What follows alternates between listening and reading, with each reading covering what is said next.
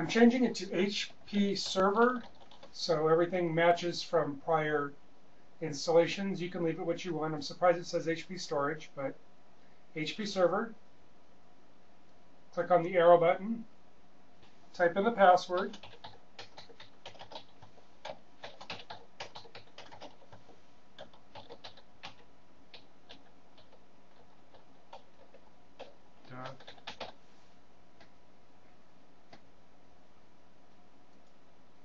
Click on arrow.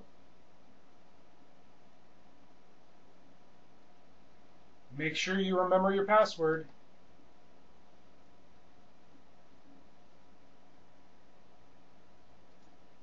I'm going to, at this point, click on Use Recommended Settings. Now it's going to go through and do the updates for the home server. Now, this is going to take a long time, so have some patience with it.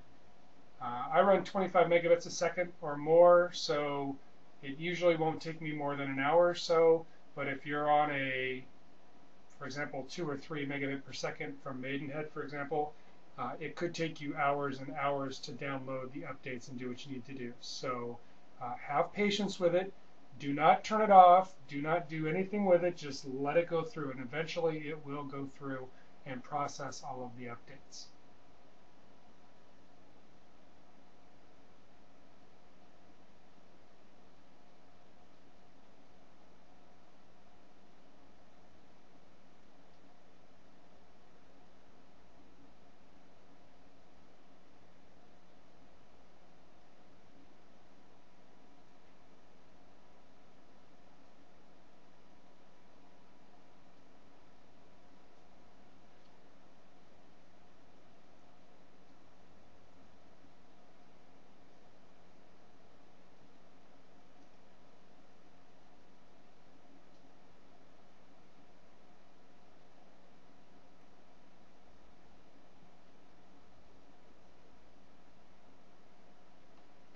Okay, it's now rebooting the home server.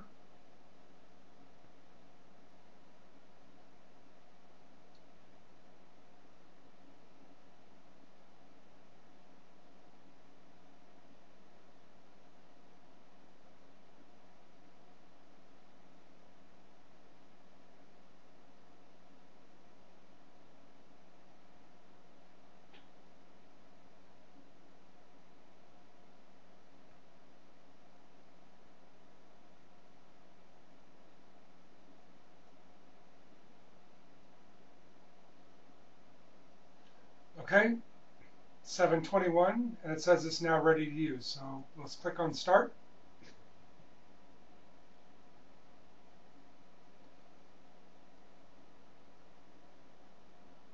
Okay, it's finishing up.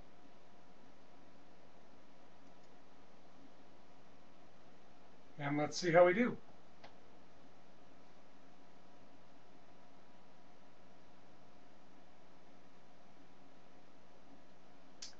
Okay, so you cannot see it because it's off screen, but the websites and the remote access and everything else is disabled.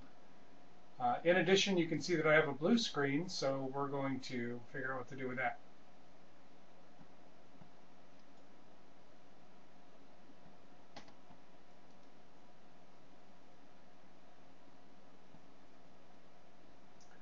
Okay, so we have the software updates that we're going to do for the HP MediaSmart server.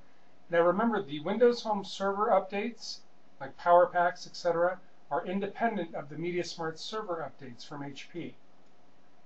So we're going to click on Start. Again, it's 726. We're 49 minutes into our server recovery and upgrade to 3.0.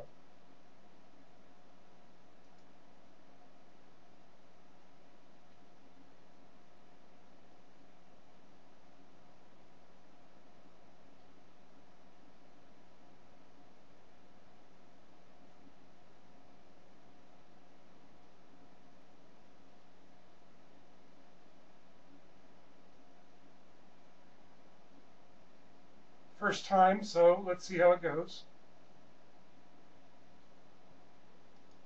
Next. Install.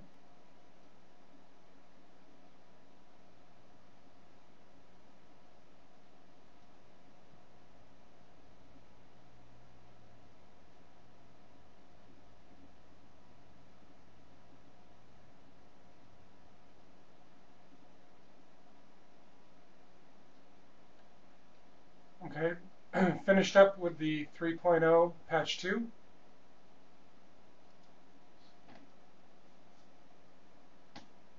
Okay, now it looks like I'm ready to go, so I will reestablish my connection with the Windows Home Server.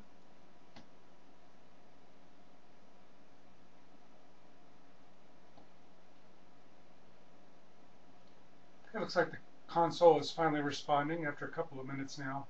Again, the first few times that you restart and you do what you need to do, the console is going to be slow. Just have patience with it. Don't click on cancel or close it out or try and reset it. Just let it do what it needs to do.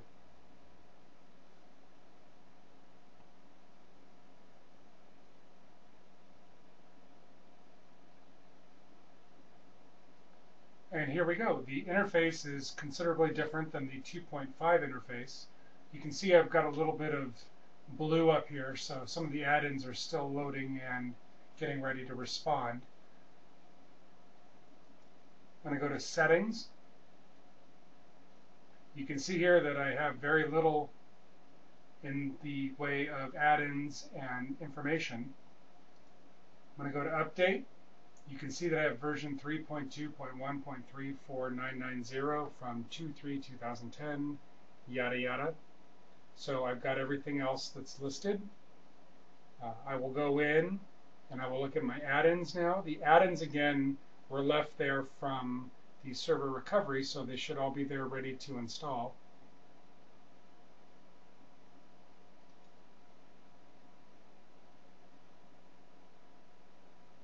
installed is blank.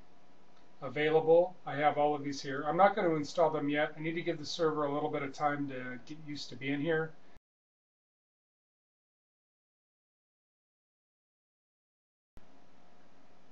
Now that I've disabled Twonky, my system actually works much faster than it did before. Again, it makes a huge difference when you disable Twonky to see your network utilization and your memory utilization and your CPU. Again, your CPU will pop out at 100% if you're having issues with Twonky. Now what we're going to do right now is we're going to go through and do the final update. So I'm going to go to Settings. Okay, Update Now.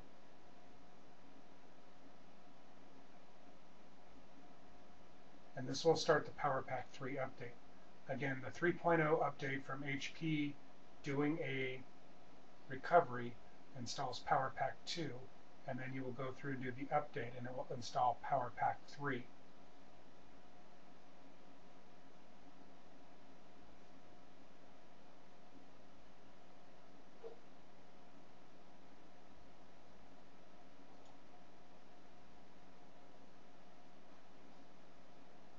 verifies the download, and we'll go through and do the installation process. Again, if you have Twonky enabled and you're getting slow server performance, disable Twonky and then do all of your updates.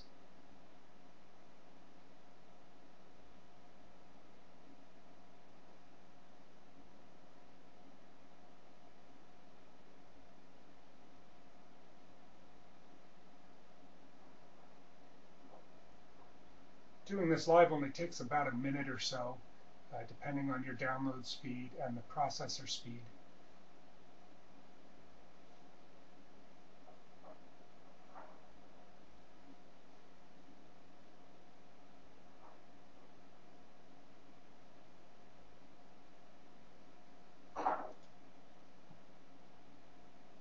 It's now completed. It's going to restart. Took about a minute to do. We'll restart and we'll be right back.